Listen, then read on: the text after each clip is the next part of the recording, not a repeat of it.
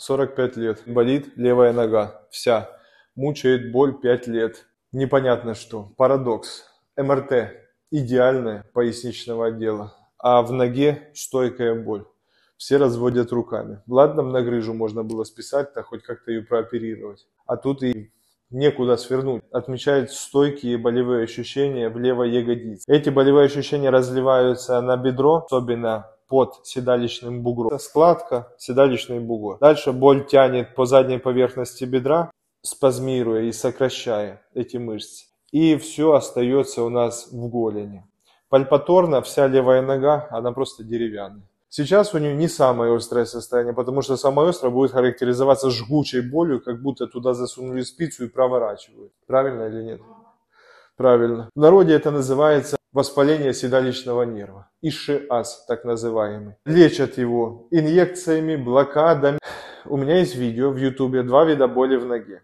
Это вот как раз вторая, второй вид боли, хронический который. Характеризуется сначала спазмом средней ягодичной мышцы. Все массажисты и люди, которым интересна эта тематика, берем блокнотики и ручки. Я эту информацию искал последних 10 или 12 лет своей жизни. Эта проблема связана с ягодичной мышцей. Болевые ощущения начали развиваться именно в ней. Сначала подтягивала ягодица, тянула куда-то по бедру. Но проблема, обретая хроническую форму или хронический характер боли, задействовал уже и мышцы, которые ротируют и стабилизируют непосредственно сам тазобедренный сустав. Это глубокие мышцы, к ним относятся грушевидные в том числе.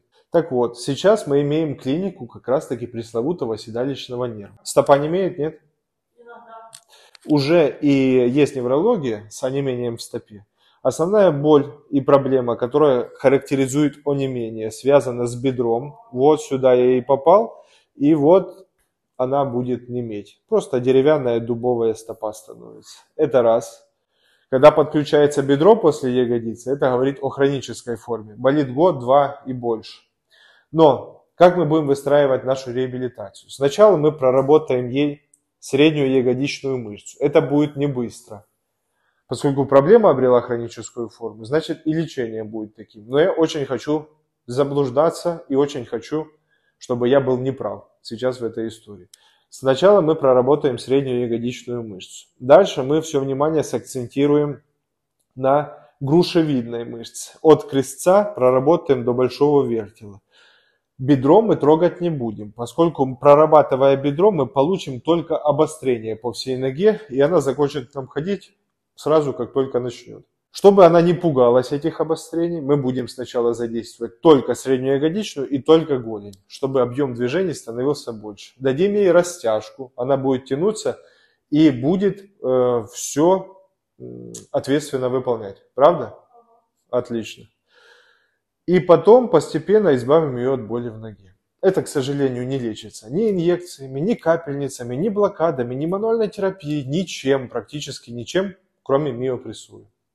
Все, мы ее берем в работу и надеемся на положительный результат. И очень хочу снять ее повторно вам в видео через неделю, а то и две.